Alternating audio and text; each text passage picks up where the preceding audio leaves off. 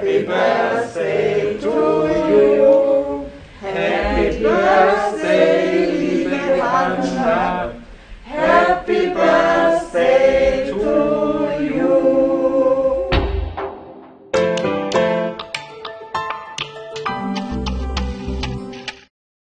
Wo soll man schneiden? Wo du willst. Wo ich will, okay.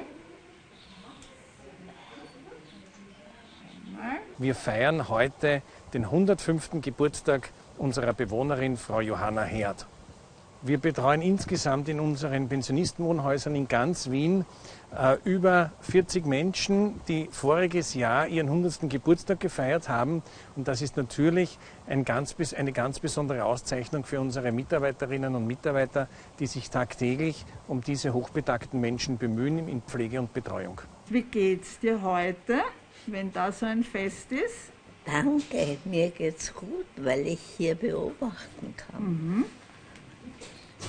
Meine Tante ist ja körperlich noch mobil und liebt es, wenn ich komme, mit dem Rollator hier im Garten herumzumarschieren.